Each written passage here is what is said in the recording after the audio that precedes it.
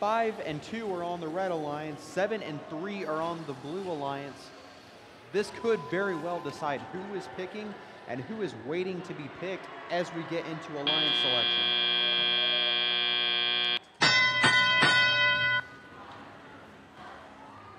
Now that we're now that we are in the driver operated period, the students are controlling the robots. 74-57, our current second ranked team will place a cone. That'll earn their Alliance five points. Whoa! And they manage to avoid the tip, avoiding catastrophe in what could be the most important match of the day.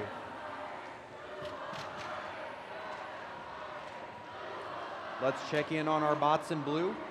3176 purple precision. They're going to place that cone with precision, coincidentally. But the Beast, they have recently been using their mechanism to launch cubes onto the high goal. They've been doing it with some success. They've done it twice this match. Anyway, with 83 seconds left to play, it is 86-79, the Red Alliance. Five and two would very much love to keep or raise their picking spots.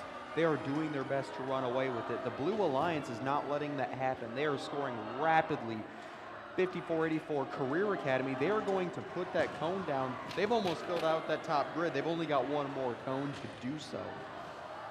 That bonus helps them immensely as they cut this deficit that the red has built. We got a traffic jam over in the red loading zone. Team Thrust and Shamrock Botics, they will briefly have some trouble getting around each other, but they do get clear, thankfully with 35 seconds left. 71 is going to go up onto the charge station early and come to rest 131 to 101. The Blue Alliance is still within strike that striking distance of 30 points they could earn in the end game. Career Academy, they're going to put one more cone up. They're going to need a triple climb to have a chance.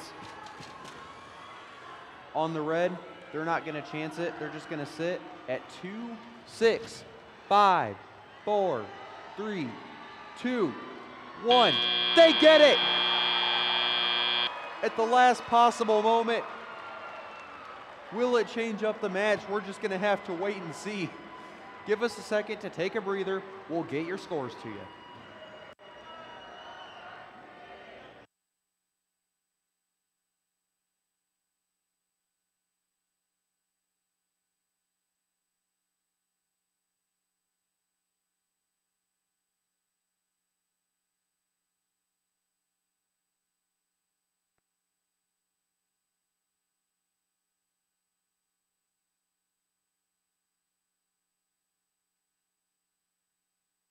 All right, we have our scores for this qualification match.